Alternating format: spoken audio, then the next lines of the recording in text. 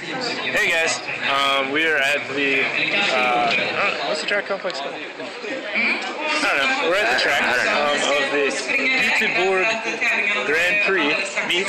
Um, we ran already. Uh, uh, really cool.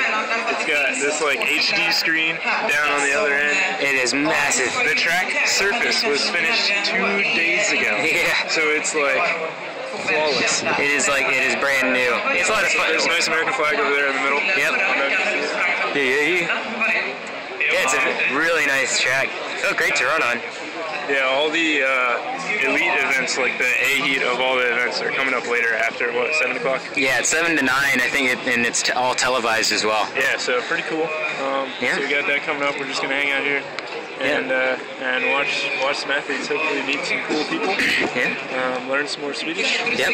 And uh, W- all right, We the uh, announcements in Swedish right now, but we have no idea what they're no, saying. well, we do know a little bit of Swedish. We do. We know uh, two very important phrases. Uh, the first, what's the first Ryan? Uh, The the very okay. The, you are very sweet is Du, du, du el. du är mycket sit. And the second one we know is uh, Vill du bli min which is Will you be my wife?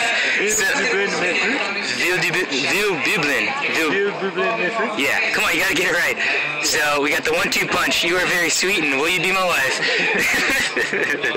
anyway, yeah. So we both ran, and uh, we were competitive within our heats, Yeah. respectively, and it just didn't finish well. Yeah, kind of the story of this trip. Well, same as same as last time. So Yeah. What are you gonna do? With a bunch of traveling and stuff, you know. I don't know. my official time yet. I don't know either. We'll look it up later. Yeah, look, it's not important. It was fun though. Anyways, yeah, this meet is really cool. Yeah, It's like high class. Like it's it's cool. They were showing footage from last year, and it was like professionally done. Like it looked like you were watching the the U.S. trials or something. Like all the video coverage Yeah. and everything.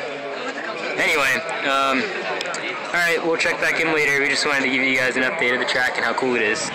So We're about to run the women's 100 meters. yeah, A heat, I think.